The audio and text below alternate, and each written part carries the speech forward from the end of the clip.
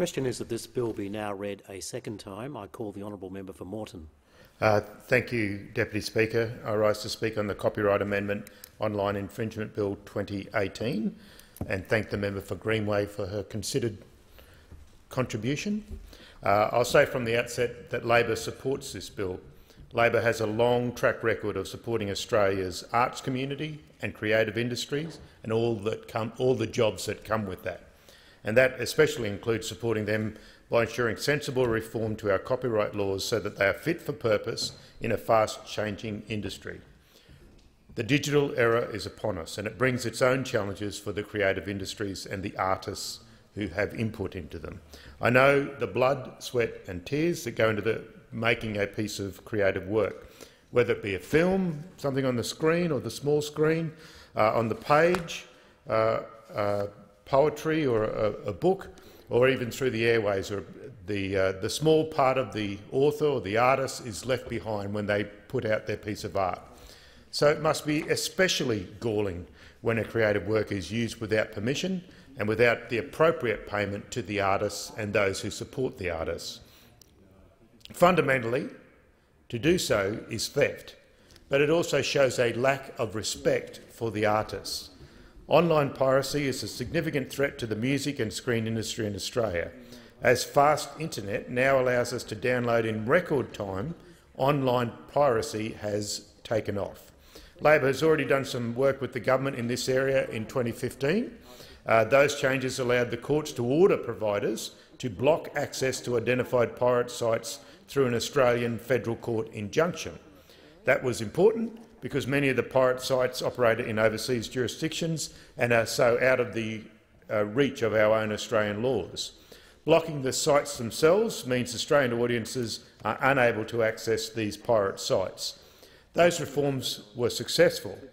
However, it is not easy to obtain a, an Australian federal court injunction and it takes time and there is costs associated with it. So, as soon as that door has been largely closed, what do unscrupulous operators do? Well, they find another door or they uh, make a, a door ajar with their crowbar and push through. So our laws need to keep up with an ever-changing copyright infringement landscape.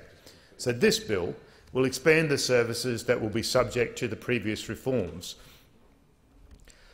Online search engines will be included. A federal court injunction can compel a search engine to take reasonable steps to not provide search results that direct users to copyright infringing websites. Sites that have the primary purpose or primary effect of infringing or facilitating an infringement of copyright can now be blocked. That is the intent of the legislation. This is a significant expansion of the previous reform, which was limited to blocking sites with the primary purpose of infringing copyright. This bill will also allow more flexible injunctions so that when a pirate site changes its address or access pathway, the injunction can be adapted without the need to return to court. To streamline the court process to obtain an injunction, this bill adds a rebuttable presumption that an online location is outside of Australia and therefore within the blocking mechanism of this legislation. So that is why I support this bill and why the Labor Party will support this bill. It is important that Australia's creative industries are protected and fostered. Our musicians, our filmmakers, our, uh, our TV production industry, our artists, our authors, they're all important to our culture and significantly to our economy. So many jobs associated with these uh, artistic endeavours.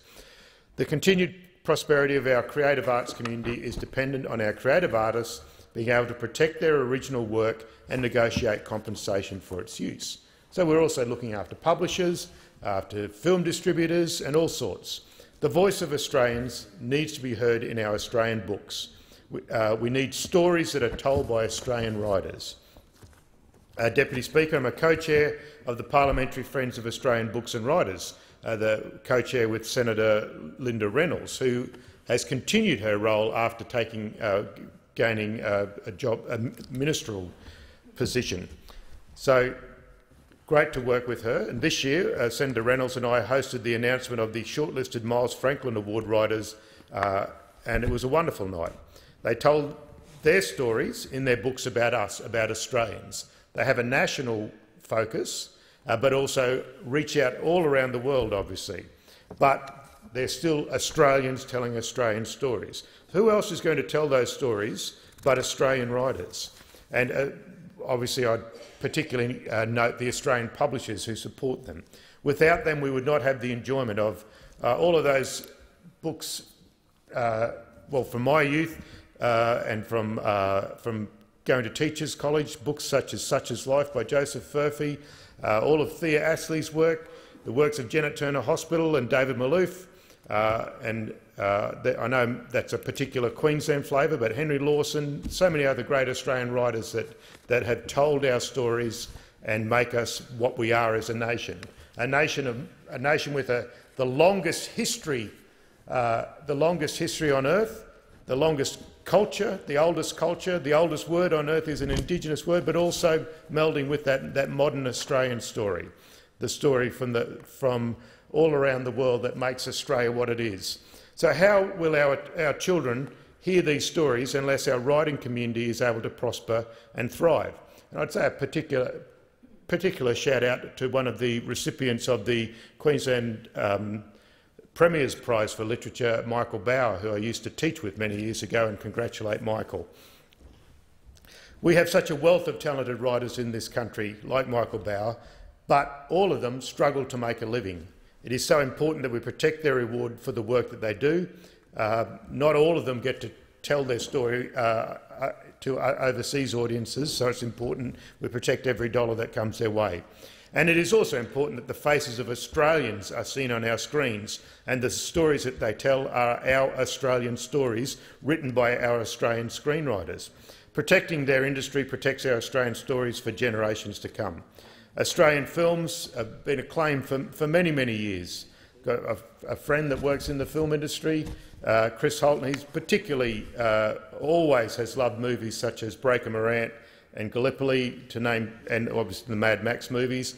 But Australian movies, they do, do so much. Movies like Lantana, uh, Priscilla, Queen of the Desert, uh, The Castle, Muriel's Wedding, Death in Brunswick, and I'd even throw in there The Rocket, Master and Commander, just to name a few of my favourite movies.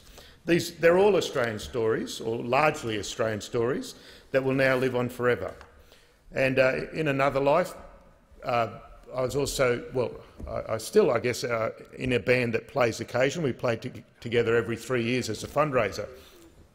Now, we didn't, uh, didn't make too much money from our musical endeavours, uh, largely written by John Carrozza uh, and was the lead singer as well. But we, we did play in our own voice. They were songs that we wrote, we played, and it was part of our Australian story.